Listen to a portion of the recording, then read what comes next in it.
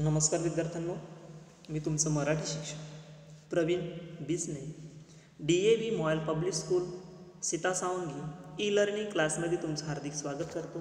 तर आज आपण विषय मराठी इयत्ता एक ते चार आणि त्यामध्ये कथाकथन हा भाग आपण अभ्यासणार आहोत. तर आजची कथा आहे डिंकू आणि बोबोंचं रेस्टॉरंट ठीक आहे? आपण चंपक आपण चंपक ह्या प पाक्षिक पाक्षिक म्हणजे पंधरा दिवसानंतर येणारे जे हे एक अंक आहे आहे की नाही? त्यामधील चंपक या अंकातील जी कथा मालिका आहे ती अभ्यासत होतो. त्यापैकी आजची जी कथा मालिका आहे चौथी तिचं नाव त्याचं नाव काय आहे? डिंकू आणि बोबोचं रेस्टॉरंट. तर ही कथा अभ्यासणार आहोत. तर लक्ष द्या मी वाचन करतोय. तुम्हाला काय करायचं आहे? व्यवस्थितपणे ऐकायचं आहे. मी तुम्हाला कथा सांगतोय. ती ऐकून तुम्हाला समजून घ्यायचं आहे आणि ह्या कथेतून तुम्हाला बोध घ्यायचं आहे. ठीक आहे? तर बघा लक्ष द्याल तर तुमच्याकडे ल- लक्ष जर द्याल तर तुम्हाला समजेल नाहीतर समजणार नाही. तर डिंकू आणि बोबोचं रेस्टॉरंट ठीक आहे? चित्रामध्ये पाहू शकता कशा पद्धतीने त्याने रेस्टॉरंट चालू केलं आहे. ठीक आहे? बघा. डिंकू अस्वल आणि बोबो माकड एका काठीवर बसले होते. ते विचार करत होते की आपली उपजीविका कशी चालवावी? मला तर काही सुचत नाही आहे तुला काही सुचतंय का? डिंकूने उदासपणे विचारलं. मला त्रास देऊ नकोस आणि विचार करू दे बोबो चिडत म्हणाला. बोबोने विचार करत आपलं डोकं खाजवलं. अचानक त्याने टिचकी वाजवली. टिचकी वाजवणे म्हणजे माहिती आहे ना? अशी टिचकी वाजवली जाते नाही का? एखादी कल्पना जर आपल्याला जर सुचली असेल तर आपण टिचकी वाजवतो आणि आपल्या चेहऱ्यावर आनंद निर्माण होत असतो. त्याने टिचकी वाजवली आणि उत्साहाने ओरडला मला आयडिया सापडली. आपण आपलं रेस्टॉरंट सुरू केलं तर? आपल्याला काही भांडी आणि सामान खरेदी करण्यासाठी पैसे जमा जमा करावे लागतील. पण आपल्यात जेवण कोण बनवणार? डिंकूने विचारले. ह. ही काही जास्त चिंतेची गोष्ट नाही आहे मला वाटतं की तू जेवण बनव आणि मी जेवण वाढेन. बोबो पूर्ण विश्वासाने म्हणाला. घाबरून डिंकूने विचारलं तुला काय वाटतं? मला मा मला माहीत नाही जेवण कसं जेवण कसं बनवतात. मला तर दूधही उकडता येत नाही. मी काम करणार नाही. बरं पण तुला दूध उकडायला कोणी सांगितलं? ते न उकडताच दे कोणालाही फरक कळणार नाही. माझ्याकडे घरी आजीचे जुने पाककृतीचे पुस्तक आहे. मी तुला ते आणून देईन. आता पाककृती म्हणजे? जे आपण पदार्थ बनवत असतो ते कशा पद्धतीने बनविले जातात त्या संदर्भात तिथं कृती कृती दिलेली असते माहिती दिलेली असते. पाक म्हणजे बनविणे. व्यंजन बनवण्याची जी कृती असते जी पुस्तक असते त्याला काय म्हणतात? पाककृती पुस्तिका असे म्हणतात. तर माझ्याकडे घरी आजीचे जुने पाककृतीचे पुस्तक आहे. मी तुला ते आणून देईन. त्यात दिलेल्या दिलेल्या सूचनाचं केवळ पालन करायचं आहे. बस सर्व नीट होईल. बोबो म्हणाला डिंकूने आणखी काही प्रश्न विचारला नाही कारण त्याला बोबोच्या रागाची भीती वाटत होती. तो केवळ योजनेवर अंमल करू शकत होता. लवकरच दोघांनी एक रेस्टॉरंट उघडले. नाव ठेवलं होतं डिंकू आणि बोबोचं रेस्टॉरंट ग्राहकांसाठी टेबल खुर्ची लावण्यात आली. घाबरलेला डिंकू पाककृतींचे पुस्तक घेऊन किचनमध्ये कामाला लागला आणि चारही बाजूला भाज्या पसरल्या. डिंकूने उत्सुक उत्सुकतेने पुस्तक उघडले आणि अनेकदा टिपसून आणि टेबल स्पूनवर टी स्पून आणि टेबल स्पूनवर येऊन अडकला. त्याने आपल्या टेबलावर स्पून म्हणजेच चमच्यांच्या वेगवेगळ्या साईज पाहिल्या आणि काळजीत पडला की यांच्यात फरक काय आहे? बोबोला ह्या सर्व वस्तूंबाबत काहीच माहिती नव्हतं. त्यामुळे विचारण्याऐवजी डिंकूने प्रयोग करण्याचा निर्णय घेतला. त्यानंतर त्याने चपाती बनवायला सुरुवात केली आणि शेकताना अनेक चपात्या करपवून टाकल्या. पण त्याला स्वतःचा अभिमान वाटत होता की कमीत कमी तो काहीतरी बनवायला शिकला. अर्थात तो असाही विचार करत नव्हता की त्याने बनवलेले पदार्थ खाण्यालायक नाहीत.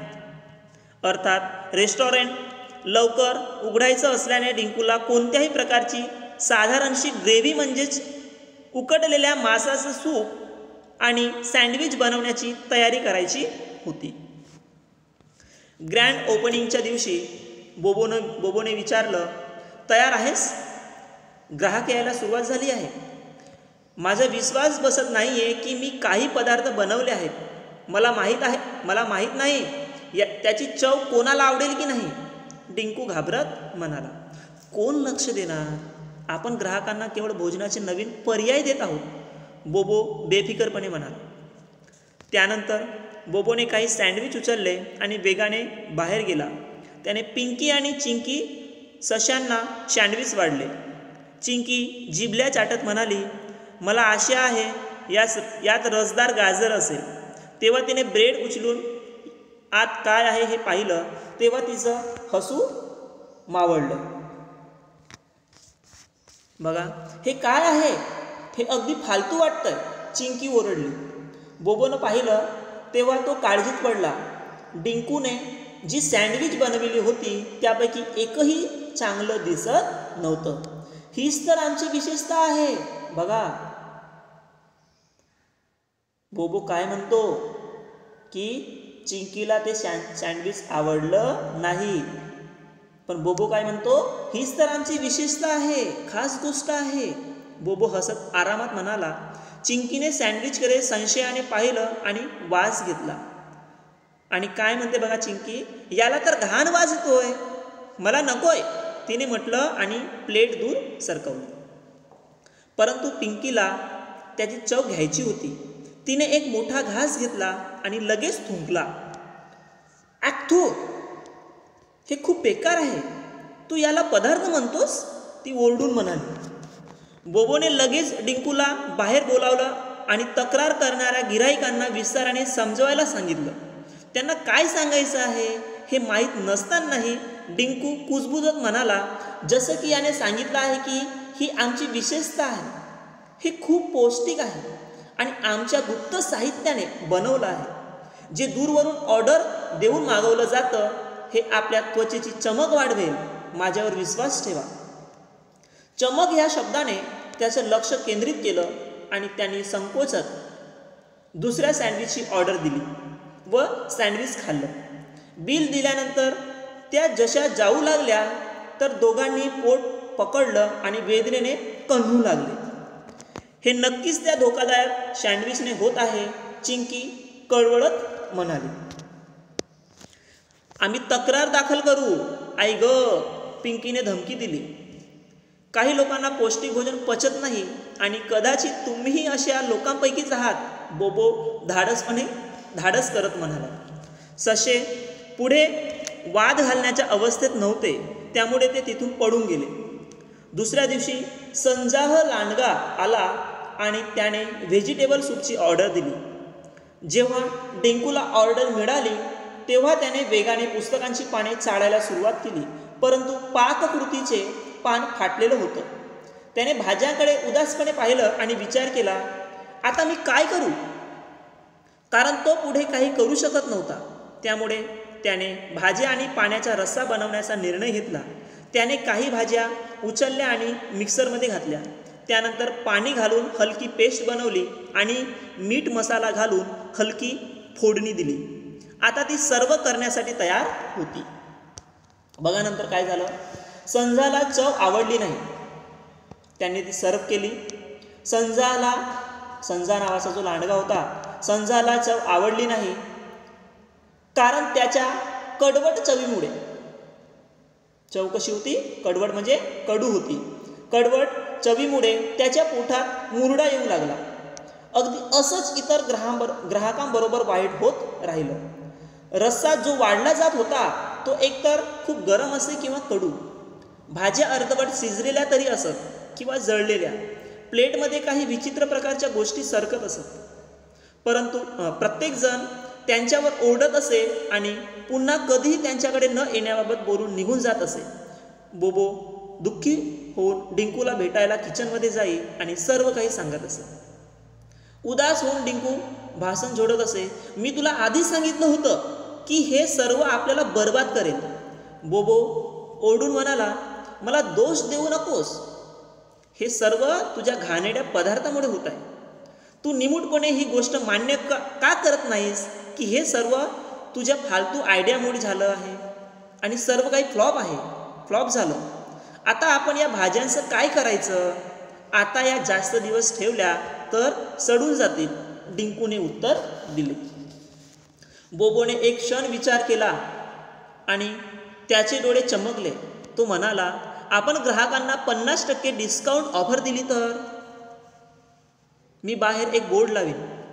आशा आहे आपल्याला काही ग्राहक मिळतील. दोन दिवसात आपण केवळ पन्नास रुपये कमावले आहेत. त्यांच्या डिस्काउंट ऑफरची गोष्टही कामी आली नाही. कारण त्यांच्या खराब पदार्थांची बातमी जंगलात चारही बाजूला आगीप्रमाणे पसरली होती. एकही ग्राहक त्यांच्या रेस्टॉरंटच्या आजूबाजूलाही फिरकला नाही. वाट पाहून पाहून ते थकले.